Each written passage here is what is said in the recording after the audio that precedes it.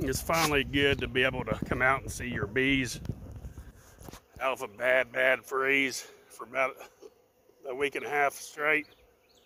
Uh, nine degrees a couple of days and then it warmed up barely. Then 10, 11, 12 degrees for a few nights, a couple of days, didn't get above freezing.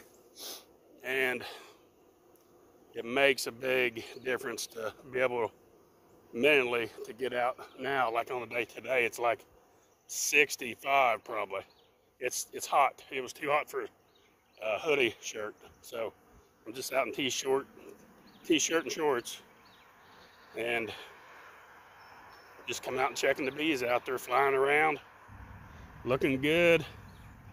Uh, of course, there's always going to be a couple highs that you lose through the winter. That's just sometimes some of those late splits don't make it. That's okay. You just keep hammering. I just, I love coming down to this uh, pollen feeder and watching them start to work because if, like I said in past, if you don't feed them pollen here, they'll find protein somewhere. They'll find it in your corn bin, your, if you feed cattle, they'll find it in the, the cattle feed. They'll scrounge around and pull off particles of protein and bring it back and store it. Um, this is artificial bee pollen of course, but on these big blue feeders, my favorite pollen feeder is, is absolutely the big blue.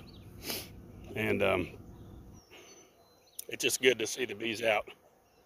And we're almost in February. It won't be long. we get through February, you're gonna see the bees starting to increase a lot. And things will start to bloom. I was over at my camp and I can see where the daffodils are popping through the ground. So it, it won't be long. You'll start seeing those are the, about the first things you see coming up. And then before long, you'll see uh, bees feeding on a variety of flowers and everything that's spring. So it won't be long. Just kind of get out there and look at your bees, see how they're doing, check them out. Don't really get into the hives. Just uh, check check out the, the numbers going in, going out. Maybe pick up the back of your hive, see how heavy it is. If it does seem light, like it's running out, and if you do have any dead outs that maybe you have honey left in, well, transfer some of that over to those hives that need it. That's the best time to do this because if they're dead, they're dead. And that honey will just sit there. They may rob it out.